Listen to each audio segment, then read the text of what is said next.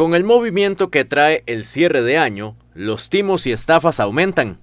Evitar los excesos de confianza se convierte en una de las principales recomendaciones de las autoridades para evitar ser una víctima más. Pero aquí también en Pérez León la gente este, es gente bastante buena, diría yo que, que, ese tal vez es el término.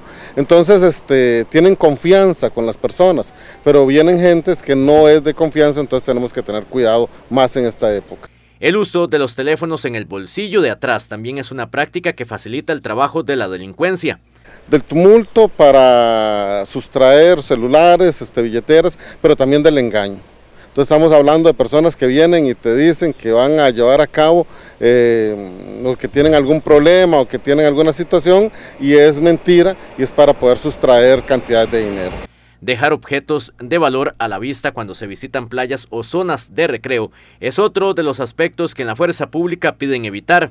También a, los, a las personas que vengan a vacacionar, a los turistas, los delincuentes están prestos a, a lo que dejemos cerca donde nos estamos bañando, que no nos demos cuenta de que dejamos un vehículo abierto, situaciones de esas, lo aprovecharán para este, llevar a cabo actos delictivos. Igualmente la policía está atenta, la policía está ahí, nos pueden, pueden recurrir en cualquier momento a nosotros, pero este es un cuidémonos juntos, ¿verdad? Consejos importantes que vale la pena tomar en cuenta.